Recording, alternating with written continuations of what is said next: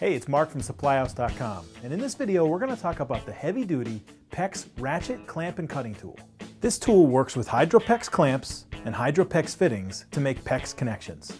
Click the metal tabs up to make secure clamp connections for 3 8 to 1 inch PEX clamps, fittings, and tubing. If needed, you can also click the tabs down to use the cutter to remove fittings and remake connections.